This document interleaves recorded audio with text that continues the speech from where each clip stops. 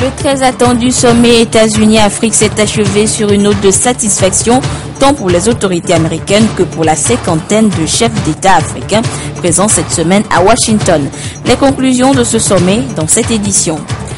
Aucun cas d'Ebola n'est enregistré jusqu'à ce jour au Togo. Les informations qui circulent depuis ce matin faisant état de quelques cas de la fièvre hémorragique dans le pays sont fausses et ne créent que la psychose au sein de la population. Les mises en garde des autorités en charge de la santé à suivre tout de suite dans ce journal. Et puis top départ ce vendredi pour les vacances utiles de cette année 2014. Les meilleurs lauréats au BEPC région maritime ont quitté Lomé pour un séjour de 10 jours à Calimé, agrémenté de partage et d'apprentissage divers.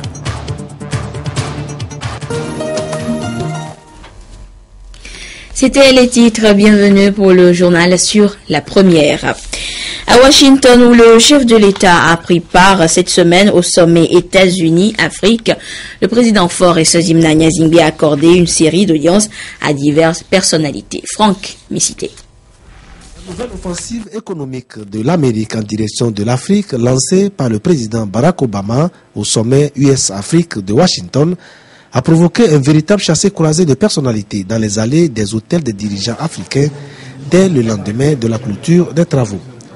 Au Four Seasons Hotel, où a séjourné le président togolais Fort Nyasingbe, le défilé des émissaires des multinationales américaines et de la Maison Blanche a duré toute la journée du jeudi 7 août 2014. À retenir parmi ces audiences, celle accordée à Johnny Carson, l'ancien sous-secrétaire d'État américain chargé des affaires africaines, puis à une délégation de l'OPIC conduite par sa présidente, Madame Elizabeth Littlefield. Je, donc, je suis euh, le, PDG de, l'organisation qui s'appelle OPIC, Overseas Private Investment Corporation, qui est l'institution de développement financier du gouvernement américain. Euh, notre objectif, c'est d'essayer de stimuler l'investissement dans les pays africains euh, en utilisant nos prêts et nos garanties pour les investisseurs américains qui souhaitent ou qui sont intéressés à investir en Afrique surtout dans les secteurs les plus importants pour les gouvernements africains, tels que la communication, le pouvoir, l'agriculture, le tourisme. Euh, nous étions très très fiers de financer le projet de Contour Global euh, au Togo, qui était un grand succès et qui est vraiment un, étoile brillant euh, dans l'Afrique de l'Ouest, qui montre comment il faut faire un projet de ce genre. L'équipe togolais qui travaille là-dessus était était superbe et le leadership de votre président là-dessus était, était vraiment euh, admirable. Nous aimerions euh, pouvoir trouver des investisseurs euh, qui, qui peuvent investir dans d'autres secteurs togolais qui sont intéressants. Nous avons parlé avec votre, votre président des autres secteurs qui, qui risquent d'intéresser les investisseurs américains. Par exemple, dans le transportation, l'électricité et éventuellement le tourisme.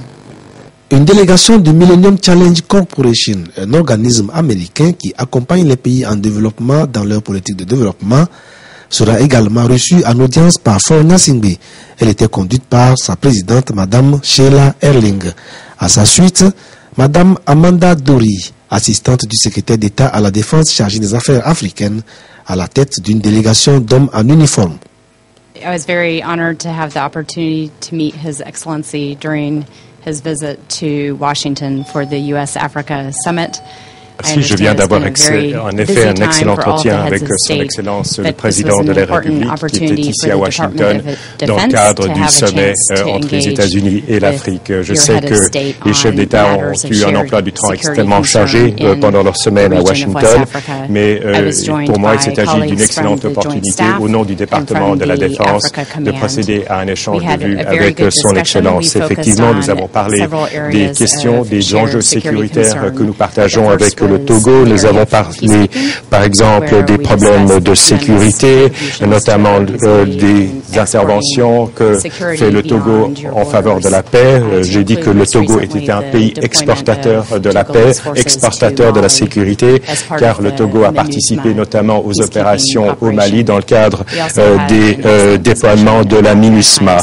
Nous avons parlé notamment de la sécurité maritime dans le golfe de la Guinée, de notre coopération dans le domaine de la lutte contre la piraterie et finalement nous avons abordé un troisième dossier, à savoir euh, la pandémie, euh, la flambée de la crise d'Ebola euh, dans certains pays de la région d'Afrique de l'Ouest. Nous avons parlé notamment des plans de crise de la CDAO, on a parlé de planification. Le président m'a fait part des systèmes, des dispositifs de prévention qui sont mis en œuvre dans votre pays pour lutter contre la propagation de la maladie. Il s'est agi d'une rencontre extrêmement productive. from the possibility of an Ebola outbreak in Togo. It was a very fruitful discussion.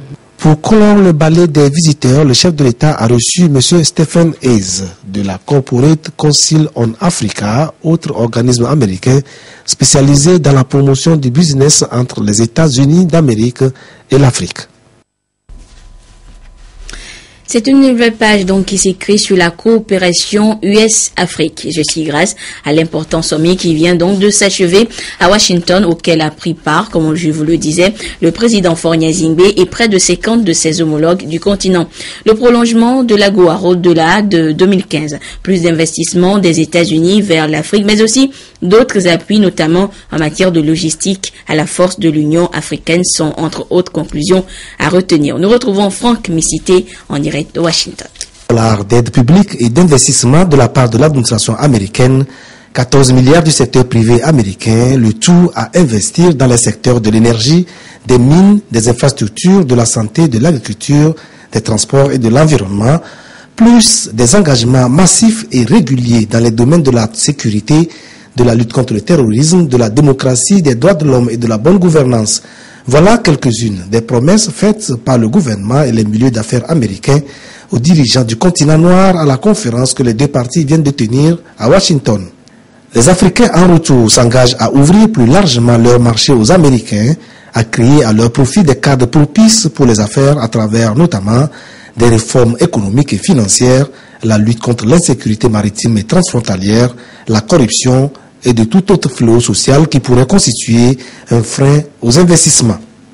Lors d'un face-à-face avec la presse à l'issue des assises, le président américain Barack Obama est revenu sur les termes du nouveau contrat de partenariat qui va désormais lier son pays à l'Afrique renforçant notre coopération euh, de sécurité pour faire face aux menaces communes, le terrorisme, la traite des êtres humains. Nous allons lancer une nouvelle initiative de gouvernance et de sécurité pour aider les pays d'Afrique à se doter de forces de sécurité fortes et professionnelles pour assurer leur propre sécurité. Pour les officiels togolais, dont le chef de l'État a personnellement conduit la délégation à Washington, il appartient désormais aux pays africains, collectivement ou individuellement, de savoir tirer meilleur profit du succès de ce premier sommet USA-Afrique.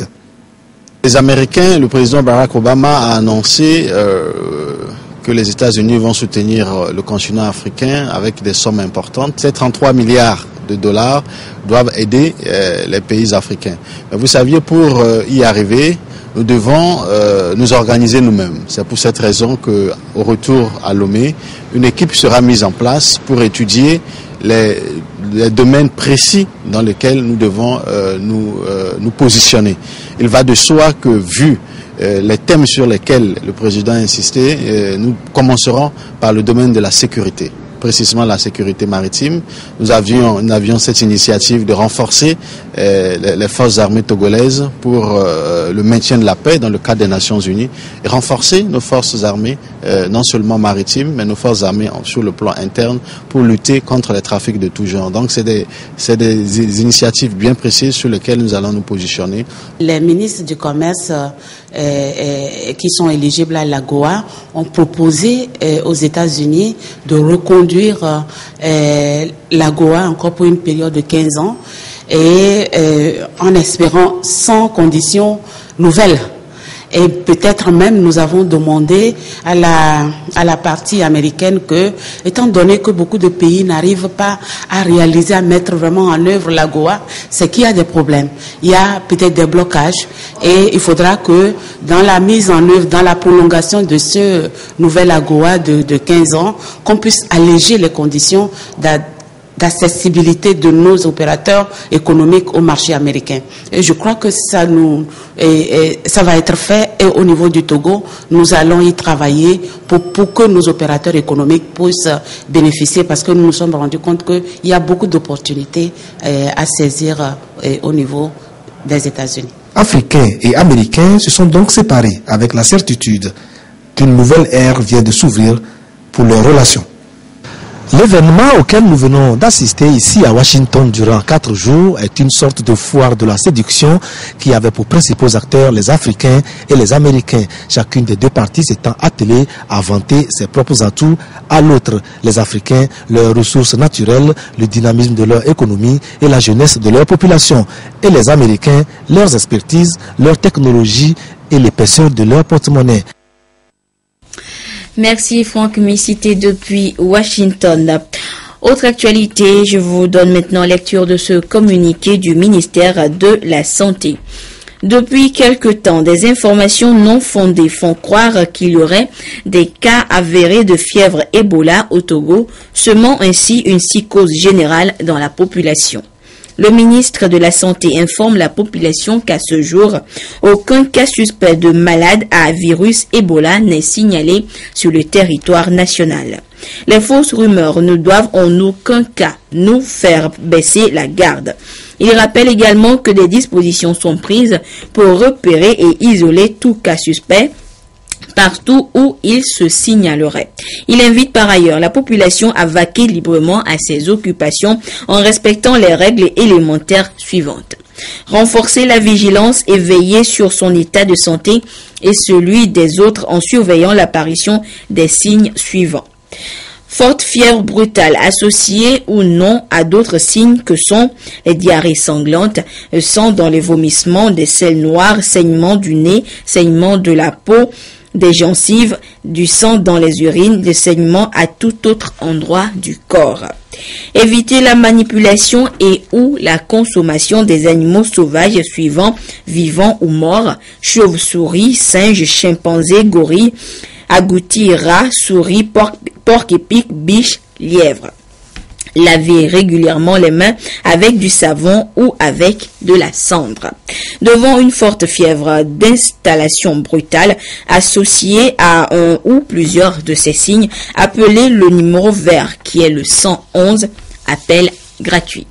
Depuis ce matin, donc, une rumeur faisait état de plusieurs cas d'Ebola détectés dans des localités du pays et préconisait des mesures peu orthodoxes pour s'en préserver. Les autorités en charge de la santé sont donc montées au créneau pour apporter la vraie information. Aucun cas de maladie à Ebola n'est enregistré au Togo. Écoutez maintenant le secrétaire général du ministère de la Santé, le professeur Gado Napokura, reçu dans le journal de 13h par Aimé Abalo appuyer ce communiqué du gouvernement. Oui, merci beaucoup pour cette euh, opportunité que vous nous donnez. Ce communiqué du gouvernement vient effectivement pour rétablir les faits. Depuis la nuit dernière et jusqu'à ce matin, de très fortes rumeurs propagées sur toute l'étendue du territoire font état du fait qu'il y aurait des cas de maladie à virus Ebola au Togo et que des mesures qui consisteraient à se doucher avec de l'eau salée, salée et citronnée, et parfois même à manger beaucoup d'oignons, suffirait pour éviter la maladie. Devant ces rumeurs qui sont sujettes à provoquer une psychose dans la population, le ministère de la Santé a jugé opportun de continuer la communication pour que les faits réels soient établis. Les faits sont simples. À ce jour, il n'y a aucun cas suspect de maladie à virus Ebola au Togo. D'accord, c'est clair. Alors, maintenant, moi, je reviens sur un fait. Euh, euh, le, monsieur en provenance de Libéria qui est passé par Lomé, après son passage, qu'est-ce qui a été concrètement fait? Merci beaucoup pour cette question. Et effectivement, ce passager qui venait du Libéria et qui a fait un transit par Lomé et qui a continué son voyage sur Lagos, et malheureusement qui en est décédé à Lagos cinq jours après, et il a été confirmé qu'il s'agissait effectivement d'un cas de maladie à virus Ebola. Devant cette situation, ce qu'il était licite de faire, c'est de procéder à la traçabilité du cas. Parce qu'il était important de pouvoir protéger les personnes contacts de ce cas pour éviter qu'une contamination importante puisse partir du cas de ce malade. Et donc la traçabilité a été faite en collaboration avec toutes les structures concernées. La Direction nationale de l'aviation civile, l'ANAC, la, la, les, la services les services d'immigration de l'aéroport, mais la compagnie aérienne aussi qui a transporté le, le malade, mais aussi l'Organisation mondiale de la santé par sa représentation au Togo et le ministère de la Santé. Donc cette traçabilité a permis de suivre tous les passagers qui auraient pu éventuellement être des contacts de ce malade et l'information a été largement partagée avec les pays de destination de ces passagers puisque l'information que nous avions de la compagnie aérienne était que aucun passager n'était descendu à Lomé et que tous les passagers qui étaient arrivés à Lomé étaient en transit et avaient continué leur voyage sur le Nigeria.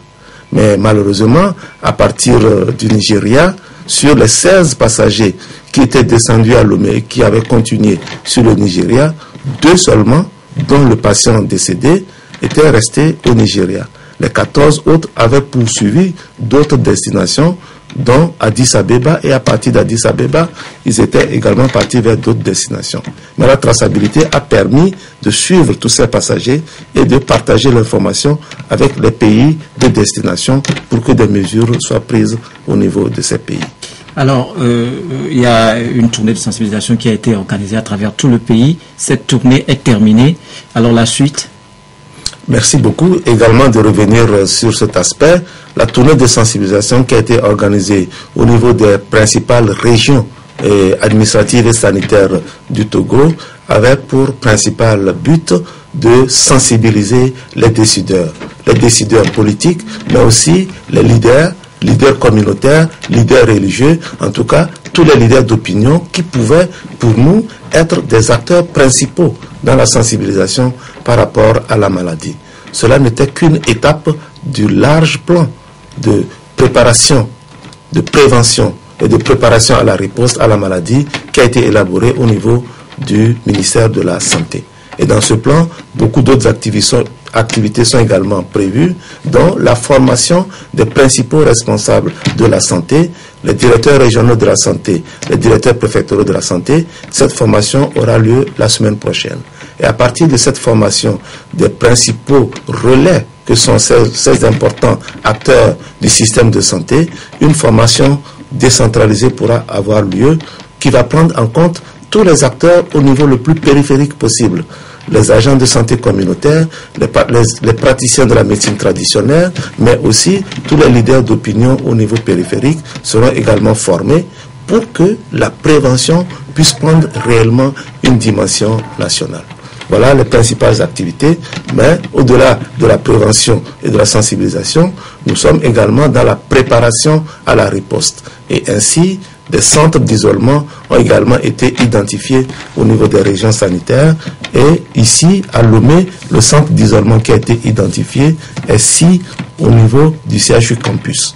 Et au niveau de ce centre, le matériel de protection individuelle que le personnel de santé doit utiliser avant toute manipulation d'un cas suspect est disponible. Il y a aussi le matériel de prélèvement devant un cas suspect, il faut faire des prélèvements qui vont nécessiter une confirmation du diagnostic dans des laboratoires agréés par l'Organisation mondiale de la santé. Tout ceci est mis à la disposition des centres d'isolement comme préparation à la riposte à un éventuel cas suspect qui surviendrait dans notre pays. Merci professeur. Le communiqué est bien euh, explicite, mais je voudrais que vous vous adressiez encore aux populations pour les rassurer une dernière fois. Merci beaucoup. Euh, encore une fois, nous voudrions rassurer la population qu'à ce jour, aucun cas suspect de maladie à virus Ebola n'est signalé sur notre territoire. Deuxième élément, nous voudrions également rassurer la population que tout est mis en œuvre au niveau du ministère de la Santé, au niveau du plus haut niveau de l'État, pour que nous soyons prêts à la riposte au cas où un éventuel cas suspect adviendrait dans notre pays. Troisième élément, la population doit rester sereine. La population ne doit pas céder à la psychose devant toute information erronée. Nous sommes là, nous sommes disponibles pour donner l'information juste. C'est pour cela que le numéro 111, numéro vert gratuit, est mis à la disposition de la population pour que des personnels de la santé qui sont à leur disposition puissent leur apporter les informations nécessaires.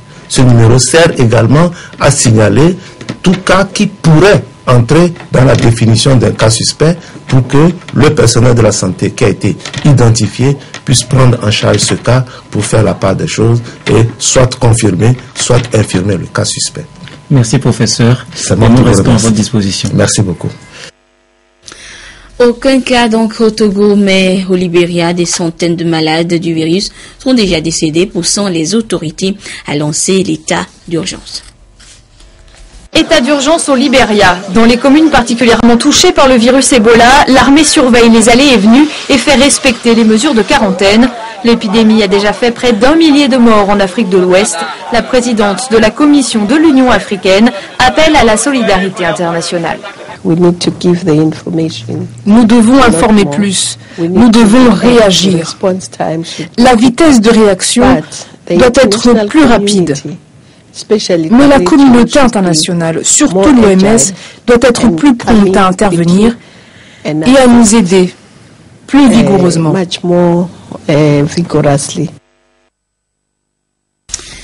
C'est devenu une tradition pour le gouvernement togolais chaque année pour encourager les meilleurs élèves aux différents examens. Il est organisé à leur intention ce qu'on nomme les vacances utiles. Une occasion pour ces bons élèves de vivre ensemble, partager et acquérir de nouvelles expériences.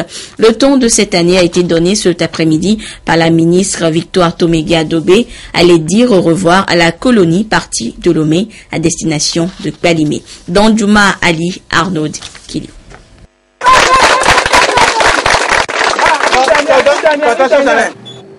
Scène de joie sur l'esplanade du palais des congrès de Lomé avant le départ pour la colonie des vacances à Kbalimé.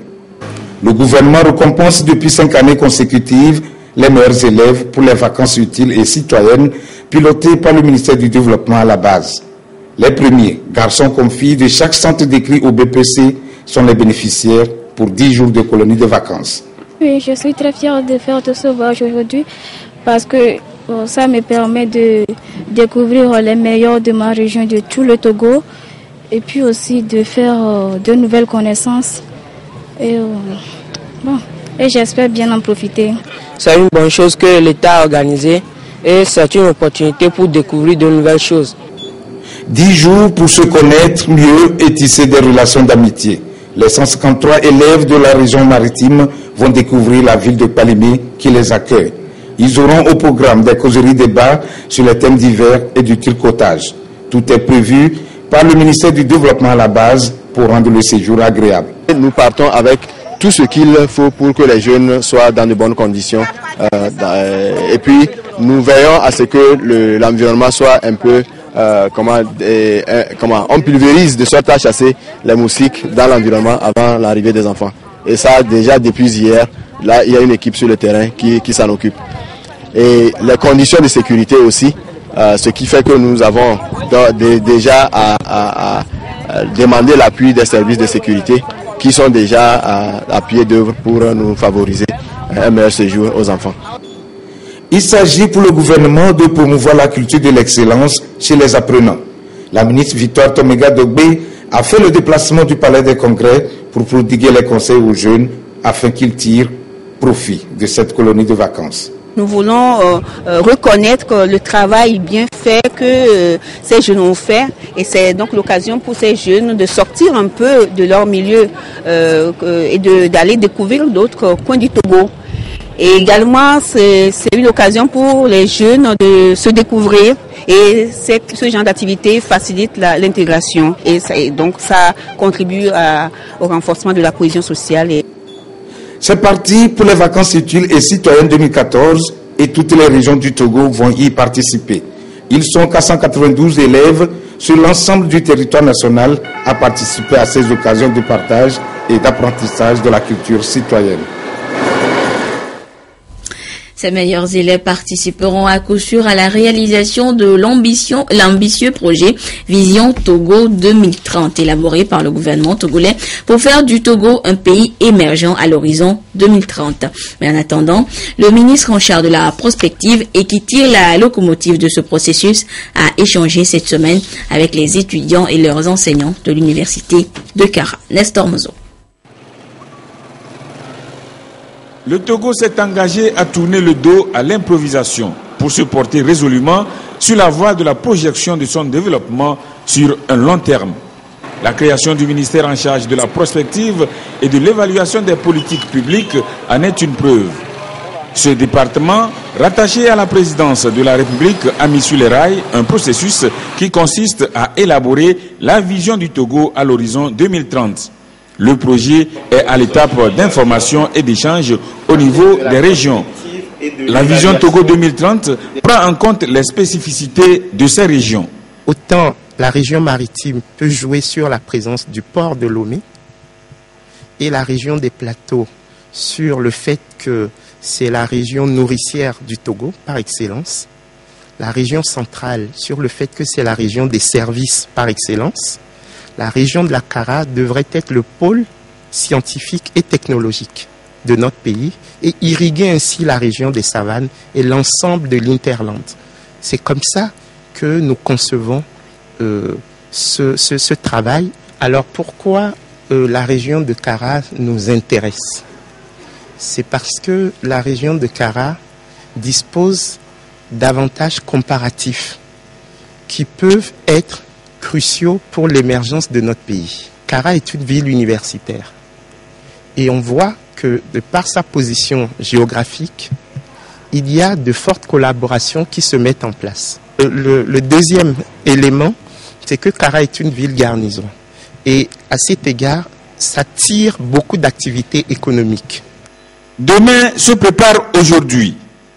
Le processus d'élaboration de la vision Togo 2030 est une anticipation qui vise à se mettre à l'abri de toute surprise. Il se présente comme un cadre participatif qui offre l'opportunité aux acteurs de développement d'exprimer leurs aspirations. Euh, aujourd'hui, nous sommes surtout là pour écouter les populations. Nous avons des idées, mais nous devons les confronter et ainsi construire ensemble une vision partagée de notre pays. Parce que si dès aujourd'hui nous nous mobilisons pour un Togo meilleur, nous devrions y arriver. Dans le souci de permettre la réussite du processus, quatre sous-systèmes analytiques ont été identifiés. Le sous-système 1 concerne l'économie et la technologie, le deuxième couvre la politique et la gouvernance, le troisième est lié au social et à la culture, le quatrième sous-système est en rapport avec la démographie et le développement humain. Un document final va sanctionner l'ensemble des travaux. Il est promis qu'il sera disponible en mars 2015. La disponibilité de l'eau potable dans toutes les contrées du pays est l'un des volets de ce projet d'émergence du Togo. Et à cet effet, des ouvrages d'eau sont en cours de réalisation dans les différentes régions du Togo. Le ministre de l'équipement rural a entrepris une nouvelle tournée nationale de constat des travaux. L'étape de la COSA, toujours avec Nestor Mozo. Fournir de l'eau potable aux populations constitue une des priorités du gouvernement togolais. Dans les zones rurales, des forages poussent ça et là. Au cours de sa visite dans la préfecture de la COSA, le ministre de l'équipement rural est allé sur plusieurs sites. Bouho, Piahodo, Piapita, Kouméak Pesla. Voilà les localités dans lesquelles s'est rendu le ministre au premier jour de sa tournée. Sumbu, Lamdisi, Awengelo et Lama sont celles de la deuxième journée. Nous sommes très contents de l'évolution, sauf quelques malfaçons que nous avons relevées aux entreprises qui doivent les corriger. En termes d'avancée, euh, au jour d'aujourd'hui, sur euh, euh, pendant un mois d'exécution, ils sont au-delà de, de 64 si on pouvait être en termes de réalisation. Et euh, ce, que, ce qui fait freiner légèrement, nous, avons été exigeants pour que, euh, après la foration, que l'eau soit analysée, qu'on ait les qualités euh, requises pour la consommation humaine avant de continuer avec la superstructure et l'installation de la pompe. Donc c'est ça que c'est cette exigence qui fait qu'ils freinent un peu parce que les résultats n'arrivent pas à temps. Donc euh, en termes de satisfaction, je dirais que nous sommes satisfaits et nous allons activer au niveau des, des laboratoires pour qu'ils puissent aussi sortir les résultats aussi vite pour avancer et donner de l'eau à la population qui en a vraiment besoin. Le travail aurait beaucoup plus avancé si les entreprises n'avaient pas rencontré certaines difficultés. C'est un programme qui se réalise euh, en saison hivernale qui a une particularité. Il y a les difficultés d'accès. Donc euh, il y a également aussi des situations particulières euh, dues effectivement au terroir auquel nous sommes confrontés, mais nous les affranchissons au coup par coup. En tant que représentant des populations bénéficiaires, les trois députés de la COSA ont jugé utile d'accompagner le ministre de l'équipement rural dans sa tournée. Pour ces ouvrages, je crois que ça concourt à la résolution de beaucoup de problèmes. Et cela, nous devions nous aussi en faire notre, toutes ces réalisations et aussi rendre compte aux populations de toute l'action que le président de la République est en train de s'évertuer à mener dans les préfectures et surtout dans les hameaux les plus reculés. Dans toute la région de la Cara, le gouvernement a entrepris la réhabilitation de 191 forages avant d'attribuer 200 autres réhabilitations et la construction de 114 nouveaux à l'entreprise Eboumaf. Sur l'ensemble du territoire national, cette société va réaliser 300 nouveaux et réparer 1000 anciens forages toujours pour permettre aux populations de consommer de l'eau de qualité. La production et la commercialisation d'eau minérale en séché, communément appelée Piawata, est désormais réglementée au Togo. Ce matin, plusieurs sociétés ont reçu des certificats leur permettant de s'adonner légalement à la production de cette eau minérale de qualité. Le ministère de l'eau, initiateur de ce processus, veut ainsi réglementer les sociétés productrices d'eau potable sur l'ensemble du territoire national. Des précisions avec Kwasi Glé et Rachel Aoku. Pour produire et commercialiser l'eau minérale Piowata au Togo, désormais l'obtention d'un agrément s'impose. Un agrément qui exige le respect d'un certain nombre de règles, notamment l'assainissement du secteur de production, la propreté des sachets, le bon fonctionnement des machines de filtrage et surtout des ressources humaines de qualité. Sur les 300 usines installées au Togo, seulement 25 sont donc autorisées à poursuivre leurs activités, ceci grâce à cet agrément remis par le ministre de l'équipement rural. Nous pouvons que nous réjouir de cette certification qui nous est agréée, euh, accordée aujourd'hui. C'est lié aussi de remercier le gouvernement togolais pour d'avoir nous encouragé à nous mettre dans les normes. Parce que ça nous a poussé à respecter les normes nationales et internationales de traitement de l'eau. L'obtention de cet agrément doit constituer pour les entreprises une motivation pour plus d'engagement dans la production et la commercialisation d'une eau de qualité.